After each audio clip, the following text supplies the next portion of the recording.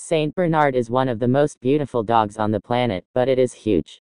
Its size is one of the reasons why this may not be the best dog for family. The cost to feed these dogs is a lot, and that is something that parents need to take into consideration.